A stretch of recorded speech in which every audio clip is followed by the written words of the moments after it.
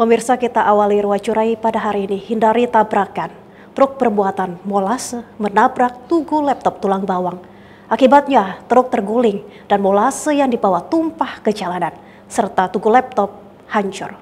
Beginilah suasana pasca kecelakaan tunggal truk bermuatan molase yang terjadi di Jalan Etanol Unit 2 Tulang Bawang. Sang sopir mengaku menghindari tabrakan sekelompok pemuda yang berdiri di pinggir jalan. Namun apes dirinya tidak bisa mengendalikan truk sehingganya truk oleng dan menabrak tugu laptop. Truk pun terguling ke tengah jalan dan molase yang dibawa tumpah ke jalanan. Akibat peristiwa ini truk mengalami kerusakan cukup parah. Sang sopir mengalami luka ringan. Awal mulanya saya di jalan, banyak anak nongkrong di sebelah kiri itu, saya ngambilnya ke kanan. Setelah saya bawa ke kiri nggak ada nyampe lagi, nggak ketahan. Ini dari mana mau ke mana pak? Dari BSN ini mau ke Teluk Mas, Oh, muatan apa muat mobil kita?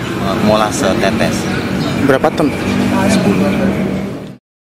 Tak hanya itu, kecelakaan ini menyebabkan kemacetan di Jalan Etanol Unit 2. Kerugian akibat kecelakaan tunggal ini belum dapat dipastikan. Dari Tulang Bawang, Rahman Wijayanto, Metro TV Lampung.